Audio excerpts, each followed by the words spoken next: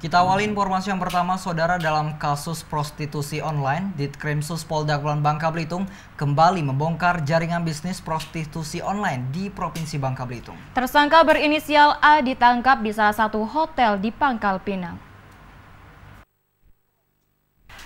Tersangka yang berdomisili di Jalan Sudirman, Kecamatan Gabek, Kota Pangkal Pinang ini hanya bisa tertunduk lemas saat digiring petugas guna menjalani pemeriksaan di Subdirektorat Vismondev Cybercrime Polda Kepulauan Bangka Belitung.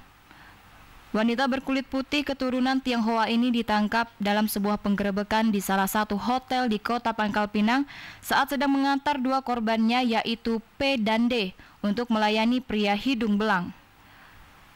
Pengungkapan kasus ini berawal dari patroli rutin tim cybercrime Polda Kepulauan Bangka Belitung yang menemukan adanya akun mencurigakan yang diduga menjajakan wanita penghibur. Setelah dilakukan penyelidikan, polisi mendapati chatting yang menjurus pada perdagangan manusia.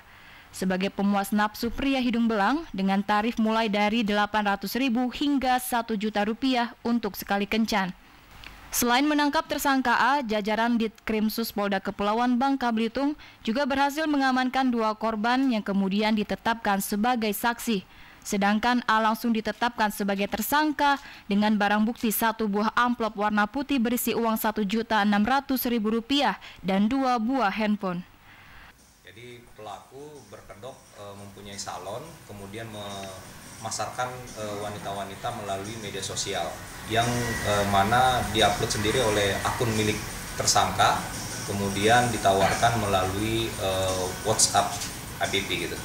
Pihak kepolisian masih mendalami kemungkinan adanya korban lain, mengingat bisnis haram ini sudah lebih dari dua tahun dijalankan oleh tersangka, dan atas perbuatannya, tersangka A dijerat dengan pasal 45 ayat 1 Undang-Undang Nomor 11 Tahun 2016 tentang informasi transaksi informasi dengan ancaman hukuman di atas enam tahun. Dari Pangkal Pinang, Zulhaidir mewartakan.